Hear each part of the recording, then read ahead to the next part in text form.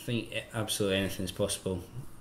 I think if you set yourself goals and dreams, then like nothing's impossible. You can do it, and you know, I set myself a dream of winning the Rolex Grand Slam of show jumping, and and we've done it. And I, I know it sounds a bit cheesy or whatever, but I think it is. Uh, it's important to know that nothing's impossible, and anyone can do it if you're hardworking enough and dedicated enough, and have the right team behind you.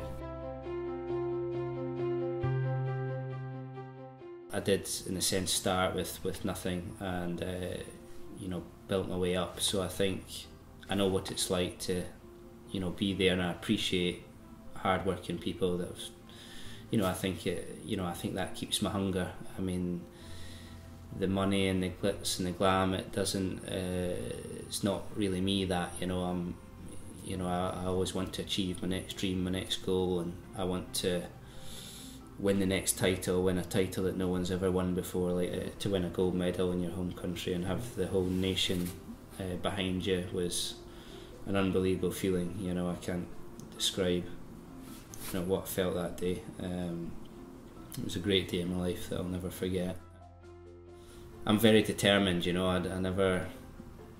Basically, if I if I have a bad round, I just want to go straight back in there and fix it. You know, and and, and improve on it. So I think that determination is a good thing to have. Um, I think it's important to have. You have to you have to want to improve and want to get better.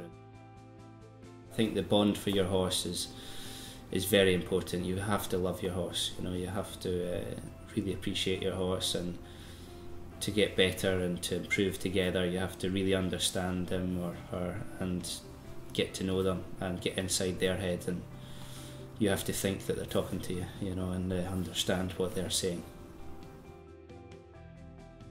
I think I, I kind of know every step he makes, you know. Um, even when we hack out, I know exactly if he's going to spook at something or if he's not going to bother about something or what's going to bother him or what's not. I, I think we just know each other really well.